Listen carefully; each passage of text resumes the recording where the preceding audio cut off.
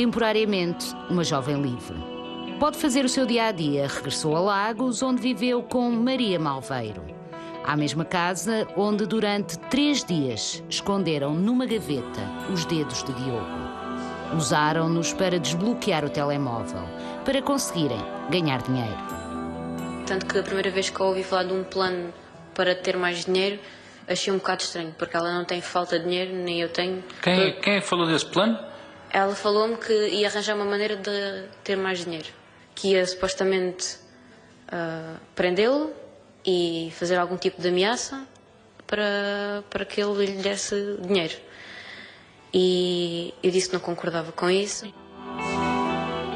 Não concordava, mas foi com Maria à casa de Diogo. Ficou no carro. O Tribunal de Portimão dá comprovado que estavam juntas quando o crime aconteceu. Via a virar à direita, fui atrás dela até à entrada da casa. A porta estava fechada. Eu ouvi sons, um som de uma coisa a cair, ouvi sons de luta e fiquei cá fora. Quando deixei de ouvir sons de luta e já a vi com ele no chão, a cadeira estava partida ele estava em cima da cadeira, acho que tinha ainda os, os braços presos, um, as pernas estavam soltas e ela estava por cima dele. Fazia-lhe um ataque, um golpe. Sim, o chamado mata-leão. Sim, um, oh, sim, sim. E ele, entretanto, perdeu os sentidos. Por isso é que deixou de dar luta. E ela disse-me que já tinha conseguido o pin dele. Maria ainda reverte a paragem cardíaca de Diogo retoma a vida para morrer outra vez às mãos de Maria. E você, por que é que não ligou? Alguém? Eu, eu não sabia o que fazer porque sabia que ela ia ficar prejudicada. Porque ela é que o tinha morto. E, e você não? Não. Depois uh, limpámos a casa. Mariana diz que não fez nada no que diz respeito ao homicídio. O Tribunal de Portimão dá-lhe razão. Retirado de um filme que valeu à ex-namorada 25 anos de cadeia. Tinha esperança de pelo menos estar em casa esta tarde, mas não estava à espera de estar aqui neste sítio, não. Mas por, como é que tinhas esperança? Por, porquê é que tinhas essa esperança? Porque queria gritar na justiça e sei o que é que fiz e o que é que não fiz e onde é que tenho a minha inocência e é por isso que eu estava a lutar. Sobre a relação que mantinha com Maria, Mariana é hoje parca em palavras. Não quer falar da namorada, não quer apontar o dedo à jovem com quem partilhou sonhos. Eu... Às vezes nós criamos uma, uma certa realidade, não é? Nós acreditamos que. Como é que eu lhe posso responder a isso? Parece que tudo está bem e que aquela pessoa é boa para nós, e podemos estar enganados. Mariana contou à Justiça a sua participação no crime. Os levantamentos que fizeram em dinheiro para tentar enganar os amigos de Diogo. Para tentar dar a ideia de que o jovem continuava a fazer a sua vida normalmente. Ela no disse, dia a seguir? Sim, no dia a seguir acho que não aconteceu nada. Sei que houve uns levantamentos que nós fizemos juntas, não sei dizer em que dias. Sei... Disse-me que quando entrou lá na casa do, do Diogo, ela disse-lhe que já tinha arranjado o código. Sim. Não tem dúvidas disto? Uh... Não, não tenho dúvidas. Certo. Ela disse-lhe o código? Não. Sabe qual é o código? Não. Certo. E foram fazer levantamentos onde? Uh... Um foi em Portimão, um em São Brás. Onde? Sabe dizer onde? Não. É que o dinheiro era para as duas. Uh, ela disse que o dinheiro era para disfarçar o facto de supostamente a história que ela estava a contar às pessoas por mensagem é que ele ia para a França. E o primo dele até questionou como é que ele ia gerir o dinheiro e qualquer coisa assim do género. E ela disse que os levantamentos era para dar a ilusão que ele ia pegar nas coisas e ia embora. E o dia em que foram ao Wells, aqui em Portimão, também foi esse? O mesmo dia em que foram à Vorten? Foi no mesmo dia que fomos à Vorten, sim. Certo. Lembras-te o que é que compraram? Sim, um, um protetor solar e um sabão. Certo. Para a utilização de ambas? Não, para a minha utilização. Certo pago com o cartão dele. Sim. Certo. Mas se for a ver as imagens, não fui eu que utilizei o cartão. Sim, eu sei. Não utilizou o cartão, mas os produtos eram para si. Para o juiz de Portimão, que ouviu Mariana em primeiro interrogatório, não há dúvidas da culpa de ambas. da participação de Mariana num dos homicídios mais macabros da justiça portuguesa. Das imagens até resulta que quando saíram da loja até saíram abraçadas num momento de comunhão. Sim. Se, eu, eu se há coisa que ali não existia era qualquer conflito entre. Nós não temos conflito. Pelo menos aparentemente. É assim, eu não queria criar conflitos entre nós, como compreendo. Não sei se compreendo. Primeiro, porque felizmente não, nunca pratiquei atos dessas guias. E, e, depois, porque se calhar a certo ponto convinha a nossa consciência de talvez nos mandasse fazer coisa diversa. Por isso não sei se compreendo, mas pronto. Aqui um plano clarinho, como água, pelas duas. É certo que uma intervenção mais musculada da Arguida Maria em termos práticos não tem, não, não tem o condão de inocentar, digamos assim, a Arvina Mariana, que ela tem uma participação manifesta, tem uma participação clara, uma participação intencional, foi aqui questionada expressamente, foi advertida que não era obrigada a responder, e disse, eu escolhi, eu escolhi eh, participar. A decisão judicial foi surpreendente. Um entendimento diferente, uma justiça que libou Mariana do crime de homicídio. O caso segue agora na relação de Évora. Se a pena de quatro anos for confirmada, já nem sequer há recurso para o Supremo. Mariana fica livre da acusação que lhe roubaria a liberdade nas próximas décadas. A ver, vamos quais vão ser os próximos uh, passos. Maria Malveiro, condenada a 25 anos de prisão pelo homicídio de Diogo, vai recorrer da decisão. A defesa quer reverter a condenação de Maria Malveiro à pena máxima. O recurso deverá ser entregue no Tribunal da Relação de Évora nos próximos dias.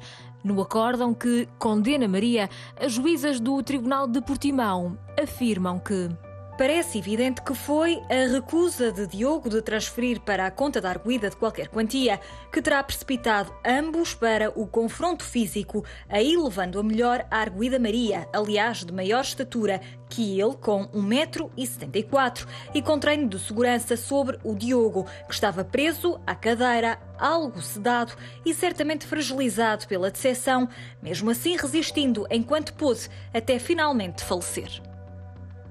A confissão inicial de Maria foi determinante para a condenar. As magistradas realçam a brutalidade do crime. Resultou provado que a arguida Maria, depois de ter efetuado ao Diogo um golpe de mata-leão, por mais duas vezes o sufocou, apertando-lhe o pescoço com as mãos. À primeira, ainda conseguindo o Diogo reagir com a reanimação efetuada pela arguida Mariana, mas à segunda vez, já sucumbindo ele irremediavelmente às mãos da arguida Maria, a pessoa por quem se encontrava enamorado e por quem esperava um encontro que perspectivava amoroso. O tribunal realça ainda a atitude de extremo desprezo pela vida de Diogo e um desrespeito pelos seus sentimentos.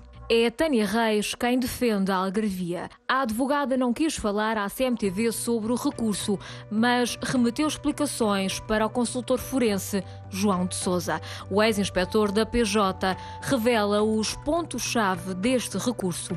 O recurso vai basear-se na errada apreciação da prova, falta de cientificidade da investigação e indução inicial da confissão da Maria Malveiro por parte da defesa. Maria voltou à cadeia de tiros esta quarta-feira. Até então estava no estabelecimento prisional de Caxias, no âmbito da prevenção do suicídio. Está condenada a 25 anos de prisão pelo homicídio e desmembramento do corpo de Diogo.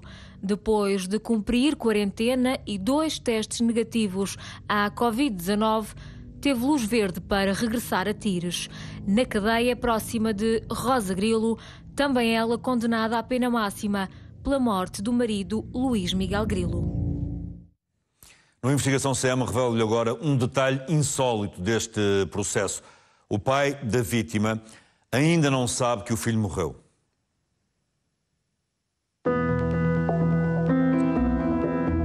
Diogo tinha apenas 21 anos, um jovem na flor de idade, com sonhos e projetos, com o desejo secreto de se aproximar de Maria, que ela fosse a sua namorada. O Diogo era apaixonado por Maria e, ainda que esta não o correspondesse, mantinha esperanças num relacionamento. Fazia tudo para agradar, desde dar-lhe presentes a ajudá-la em tudo o que necessitava.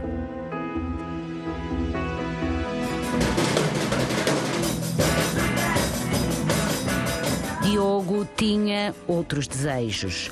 Reservado na vida pessoal, ganhava alma quando tocava e se deixava inebriar pela música.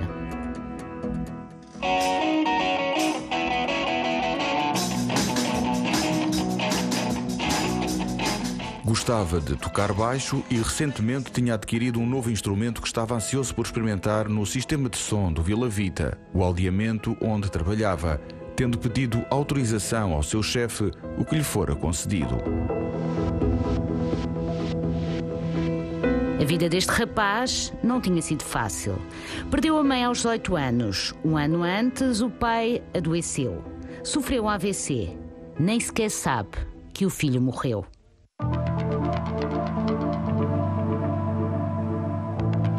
O pai do Diogo não sabe nem que o filho morreu desta forma, eh, não sabe que decorreu o julgamento, porque, tal como também ficou provado eh, na audiência de julgamento, dar-lhe essa notícia, portanto, dar-lhe a conhecer estes factos e, em especial, como disse há pouco, atendendo à forma como uh, sucederam, para ele seria devastador. O médico que prestou depoimento na, na, audiência confirmou isso mesmo. Portanto, ele já ele tem alguma percepção muito tenue, às vezes, de, de algumas coisas, poderia ter entendimento da situação e para ele seria devastador em termos psicológicos e em termos de saúde, que já não é. Ele está totalmente incapacitado. Portanto, eh, neste momento ainda não lhe foi comunicado. O tribunal dá como provado que Diogo percebeu que ia morrer. Soube que o amor da sua vida só queria o seu dinheiro, que o queria matar. Atente ao circunstancialismo em que ocorreu a morte de Diogo, este teve a consciência que a sua vida ia terminar naquele momento. Teve plena consciência de não estar na plenitude das suas capacidades em virtude do efeito do fármaco que lhe foi administrado por Maria e não conseguiu ter forças para se libertar, embora tenha tentado.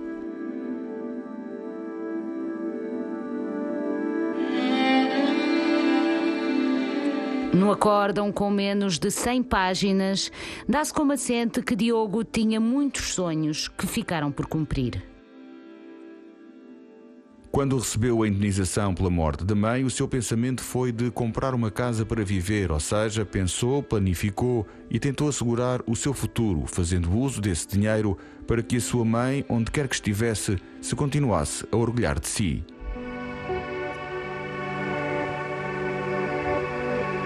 Para a família de Diogo, a absolvição de Mariana é um choque. Contestam o acórdão, vão agora recorrer.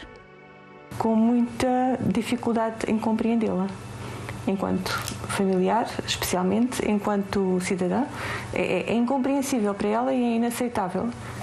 A decisão foi preferida relativamente a, ao envolvimento da Mariana nos factos estavam à espera que a pena relativamente à Mariana, porque ela esteve envolvida, e isso o Tribunal dá como provar, o envolvimento dela na profanação do cadáver e na ocultação do cadáver, de que fosse de facto maior. Sim, aliás, uh, logo em sede de alegações finais, nós transmitimos a nossa posição relativamente àquilo que entendíamos que deveria ser uh, a condenação de ambas. E eu disse nas alegações finais e, no nosso entender, uh, não existe uh, diferenciação assinalável entre a culpabilidade de ambas nos crimes. Portanto, daí o nosso descontentamento relativamente à, à decisão preferida e, e, e iremos recorrer dela. O Ministério Público também deverá recorrer da pena aplicada à Mariana. O procurador pedia uma sanção muito próxima da pena máxima para ambas. Defendia que a figura jurídica de coautoria estava preenchida. Foi surpreendido com a brandura da decisão. Mariana foi condenada a uma pena efetiva de quatro anos. Mas, como nenhum dos crimes prevê prisão preventiva, foi imediatamente libertada.